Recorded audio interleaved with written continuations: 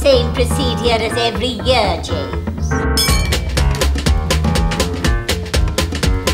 In jedem von euch steckt ein bisschen James. Abwechselnd schlüpft ihr in die Rolle des Butlers und spielt Szenen des TV-Klassikers nach. Wie war das nochmal mit dem zweiten Gang? You may now serve the fish. Und was sagt Admiral von Schneider? Geil. Erst das Glas und dann der Toast? Die Reihenfolge wird zufällig bestimmt. Merkt sie euch, denn schleicht sich ein Fehler ein, gibt es einen Schwips-Chip.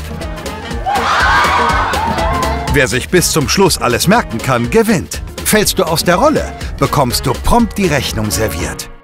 Dinner for One, das Partyspiel zum TV-Klassiker von Ravensburger.